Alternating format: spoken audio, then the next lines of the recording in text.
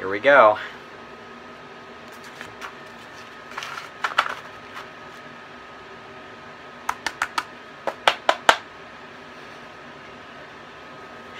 And it has a trigger. Yeah! it works. Does it still catch? Yes!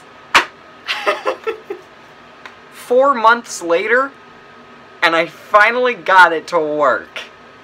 The way a crossbow should.